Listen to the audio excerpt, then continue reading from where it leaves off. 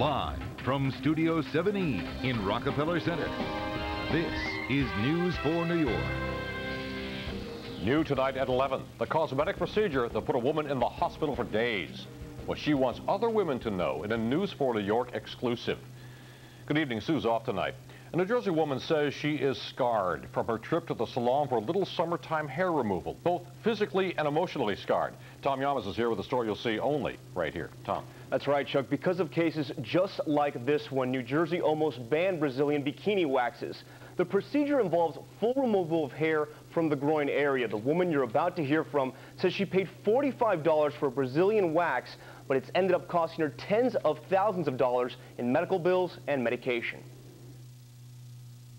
For many women, the key to looking good by the pool or the beach starts with a smooth bikini line.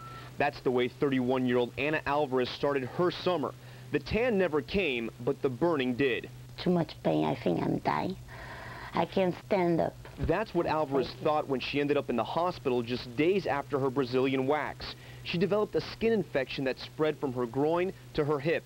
As these photos show, her skin swelled up, flaked, then blistered. I can't have love with my husband like one month. I can take care of my daughter. Alvarez, who now has problems walking, had to have surgery because of the bacterial infection.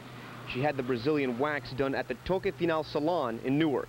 The owner of the salon did not want to comment on camera because of the pending lawsuit. He says what happened to Miss Alvarez is an unfortunate incident, but she was warned against the Brazilian wax because she had some blemishes in the groin area. That's not true. Why would they tell me that? Why would they, they, they make because up that if they say me that, I'm not doing. Alvarez says the salon is at fault because the cosmetologist used the same spatula more than once. The important thing in waxing is that the facility doesn't do double dipping. That is, they should make sure that they get their own pot of wax and obviously their own stick, and that it hasn't been used on another client. That's how bacteria spreads. Doctors say cosmetologists should use a different spatula for each swipe of the skin. If they believed that it wasn't safe to do, they should not have done it. Alvarez's attorney, Robert Solomon, is suing the salon, claiming negligence and pain and suffering because Anna is left with permanent disabilities. This is not a situation that's solely about money. This is about educating the entire female population about the dangers that are associated with Brazilian bikini waxing. The suit was filed in Essex County Superior Court. They will ask for hundreds of thousands of dollars in damages. When the state of New Jersey debated banning Brazilian waxing, the state's Consumer Affairs Director said he couldn't agree with prohibition because the procedure can be safely performed.